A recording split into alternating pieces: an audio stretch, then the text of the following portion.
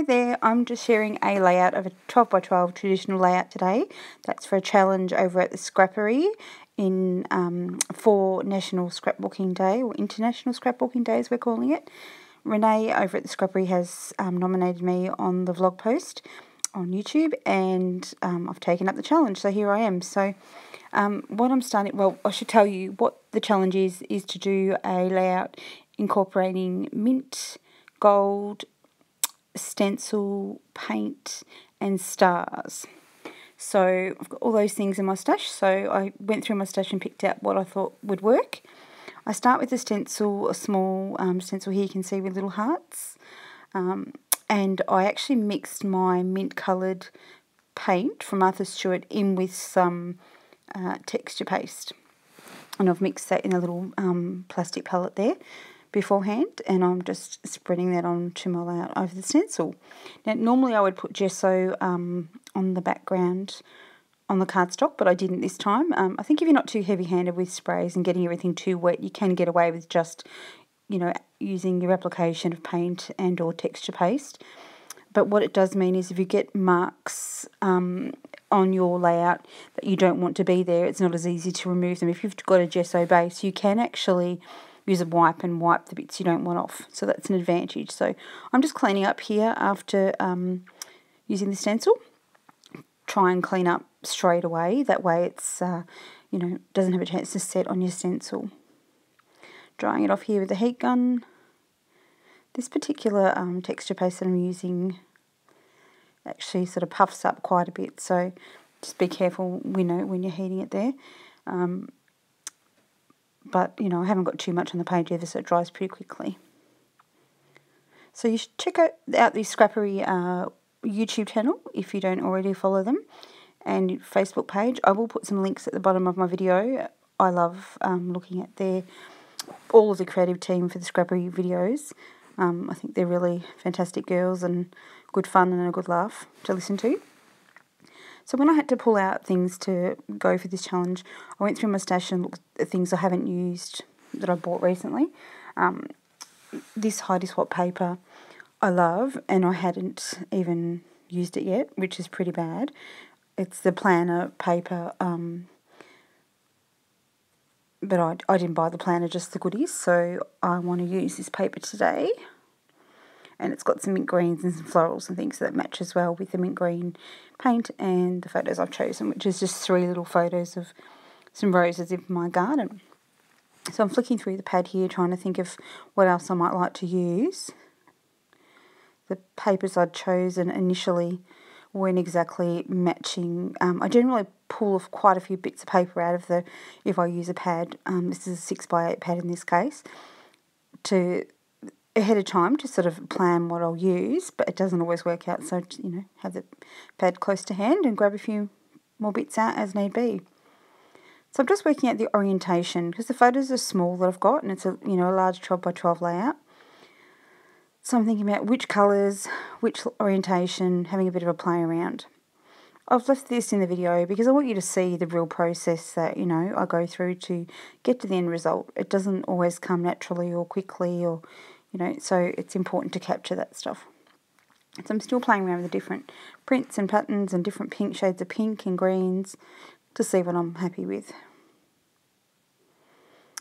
I probably could have cut this uh, white cardstock down to 8.5 by 11 and I probably would have found that that rectangular shape would have done, you know, better with the small photos that I've used. But in the end, I'm happy with how it comes out. So so I'm just trimming down some of the, um, I just decided a measurement, it's a rectangular, it's about 12 centimetre measurement to start with.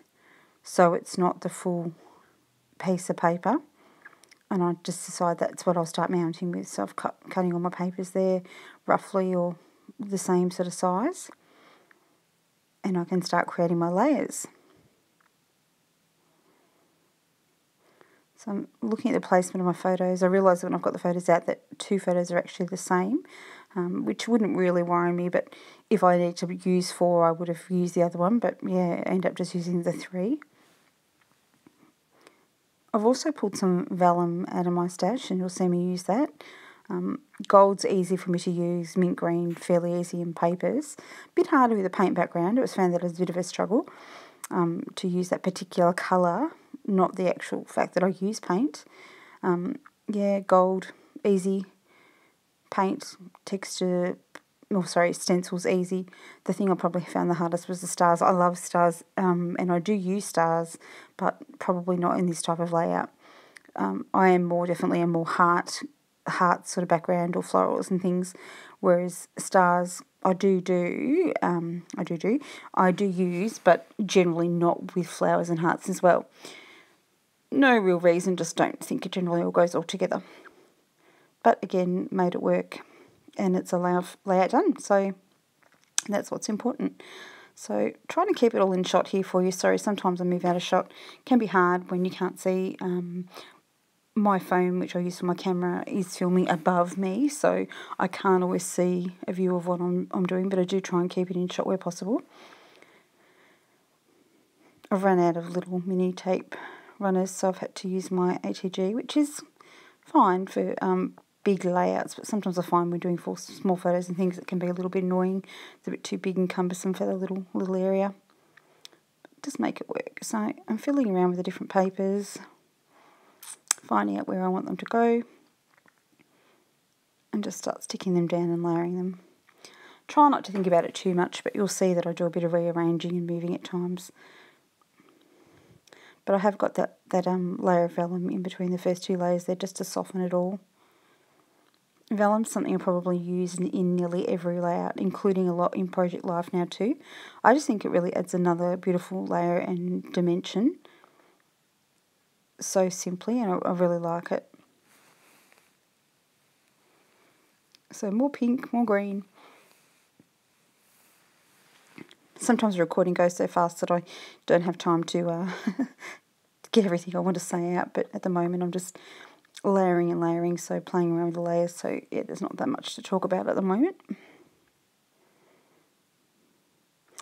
You know, another option would have been to cut this page down by an inch on two sides and then layer it on another background piece, but I decide just to keep it, uh, you know, crisp white background, and then at the end I do use a black marker to outline the edges.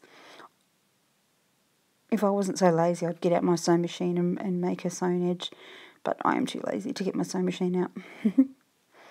it's only, it is in my scrap room, but it's not always set up, so that's a challenge in itself. So I'm just going through some gold vellum um, that I pulled out earlier to see which one suitable and I go with the polka dots. Pretty happy with that. Now when I was doing the layering you would have seen that some of the papers I actually cut down um, like I'm doing with the vellum, sorry it's out of shot but you can, what I do is I cut sort of an outer frame so the guts for one, want of a better word I cut out and did that with quite a few of the papers. It just means that you're not wasting them um, on the layers there unnecessarily all underneath and you'll, then means I can use those pieces to add back in um, either later on or for another layout. Each time I'm turning the layers over and putting more adhesive on, you'll see what I mean by that, but you'll see, yeah, I'll just sort of create an L shape um, with the paper so that I'm just giving the impression or the look that it's an entire piece behind it when there in fact isn't. I know I can see that I want something on this other side. I feel like it's heavy everywhere else, but just need something more on this side. And then I decide that this floral would go well, so I trimmed that down. Just showing you that little remote. Um, it seems a bit random. It looks like a garage remote, but I ended up getting a phone call during the video um, when I was filming, so I had to stop and and um, turn it off and go again. But I got that little remote online. I think it was around $20 and I love it. It means that I don't have to get up and lean over the top of the frame of my camera to turn it on and off. It just means that remote Bluetooth um, wirelessly to my phone and I can just press stop and start. So yeah, great little investment and I, I love technology so that was really fun. Just means I can press that. So I'm sure that's very exciting that I shared that with you, but yeah, just I guess a lot of work does go into process videos, as anyone who knows who does them knows. It's the filming part itself's easy, but then it's the editing and the voiceover, and the hardest part is the uploading to YouTube because it just takes so long. So if you are enjoying my videos, I would love for you to like and subscribe. Um, if you leave me a comment, that'd be fantastic too. I do try and reply to all comments. And um, let me know what sort of videos you want to see. I'll try and mix it up with traditional project life and, um, you know, incorporating some mixed media. But as I say, the biggest challenge is actually getting time to upload them. So once I put that floral piece on the right, I decide that it needs some more on, on the left to balance it out. So I get another bit of floral and I'm just fighting with it endlessly, just deciding where I want it to go. The adhesive in the Scotch uh, 3M ATG is quite forgiving. So generally, you know, not long after you've put it down, you can move it a little bit. So so you can see me sort of lifting layers and tucking that bit of floral paper in to just decide where I want it to go. Because that happens sometimes, you know, sometimes it works perfectly and other times it just doesn't. So you've got to go with it and just, you know, keep playing around with it to get what you like. I think a lot of scrapbooking for me is just about what looks good to my eye. Um, you know, it's not about following rules, but just what is pleasing to the eye. That's generally what I go with. What feels right, what looks right. So you can see here again, I'm just cutting out the centre piece of that paper and left with a little L shape. And I'm going to tuck that in. The gold on that vellum, I love those dots.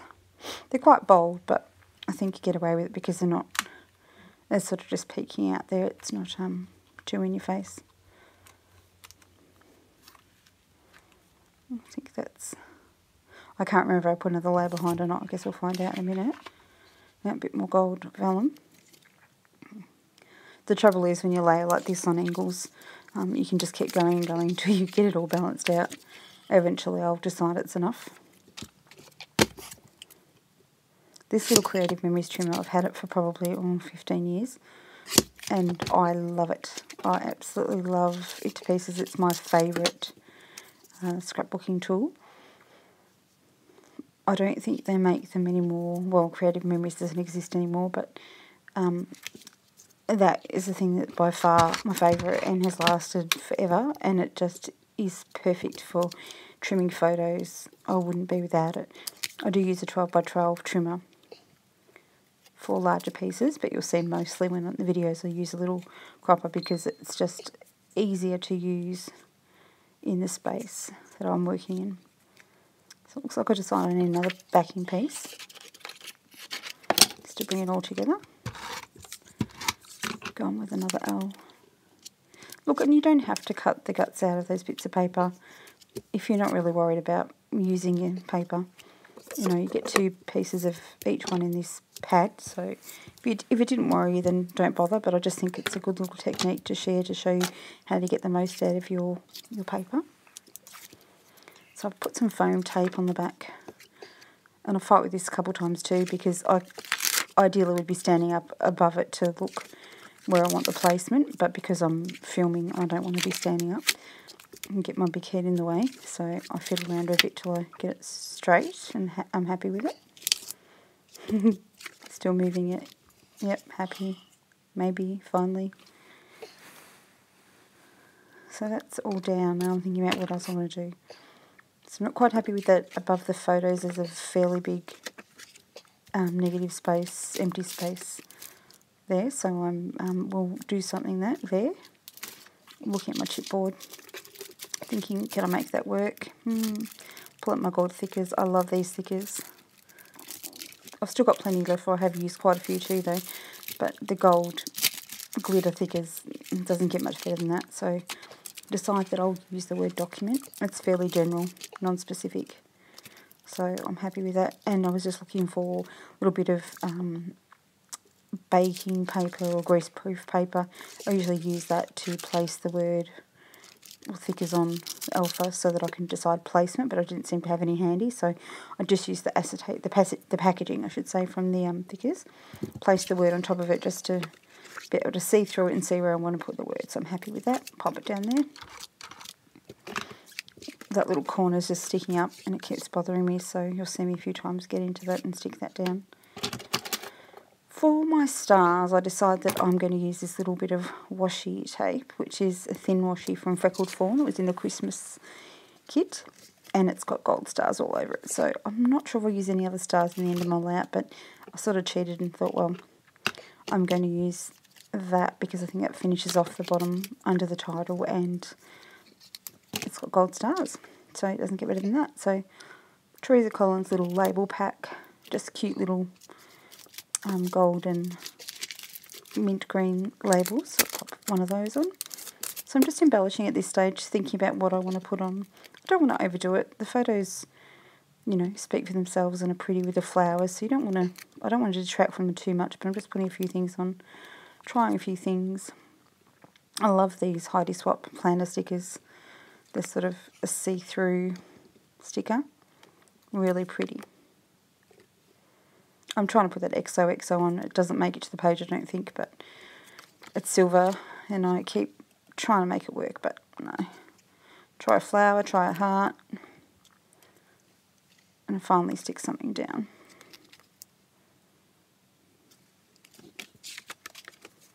Okay, thinking about what else I need to put on.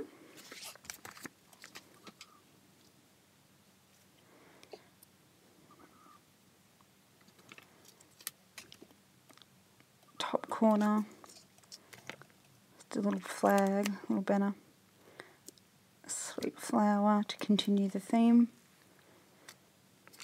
This is a sort of pack of stickers that I would normally just keep in my stash and not use because they're just too beautiful and I just want to look at them. I don't want to use them, but I'm learning very slowly that, you know what, leaving it in my stash, what for?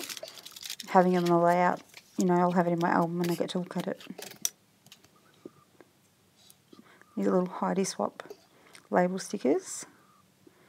I think they're from the Wonderlust collection. Don't quote me, but I'm pretty sure. But I, they're gorgeous as well. Love them. I love any la label stickers, particularly if they're gold. So I'm just I'm doing a little bit of journaling on that, just saying roses from our garden in April 2015. I'm pretty sure that's when I took the photos.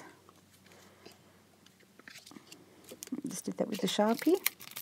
I was just pressing on top of that sticker there just to gently press it down without smudging it. So I'm just going to add a few more embellishments here.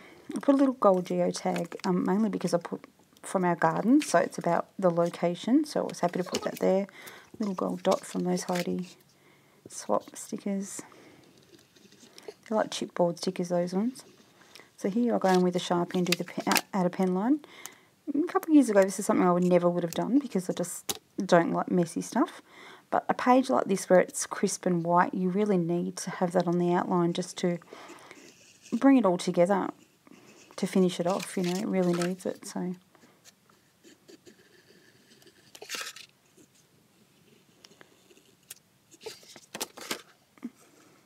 Just doing some wedging.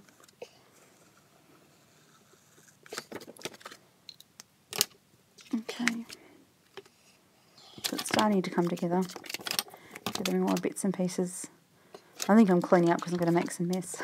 I think I'm thinking about getting some ink out, so I'm starting to move things over.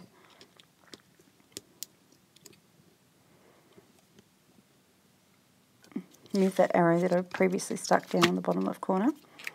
Decide that needs to go up the top and put something bigger. I'm trying to put this heart on. I realise that the sticky hasn't come off on this heart. It's supposed to be adhesive, but it's obviously a chipboard heart and it's peeled off. and arrow, we'll stick that on there, the bigger, it's a bit bigger. Playing around, will I pop another star on, will I put a heart on, get some adhesive, some glue and just dab that on the back of that chipboard heart, seeing as the um, adhesive didn't come off with it. Decide that quite big, but quite happy with that. Sort of matches in with the gold dots on the vellum, happy with it couple little more random little gold circles, dots for want of a better word. Because you can never have too much gold. Instead of using enamel dots, which I normally do, so I'll just use those in the chipboard. So here I'm just ripping up some paper to cover my photo, my title, anything on my page that I don't want ink spots to go on because it would really, um, yeah, I don't want to get ink on something. Sorry, that was a little bit of a wobble. I bumped the frame um, when I was getting my indie ink out. Paintbrush, dipping it in. No, it's not enough on there. Come on. Tap, tap. Got some ink splatters. Love the effect of ink splatters, particularly when they work. when they're messy and they don't work, then I don't like them so much, but just moving my title over. Sorry, not moving my title, the cover of my title wasn't deciding where I want the splatters to go. And then I'm looking at it, making sure I'm happy with it. The top left corner, once I'm watching back at the filming, um, I realise that something's missing on that top. In the stills that I add actually um, some little bit of embellishment, just a little gold triangle to the um, top left corner because it just needs something on that left corner to balance it out. So thanks for watching. I really appreciate it and love you to like and subscribe. Bye.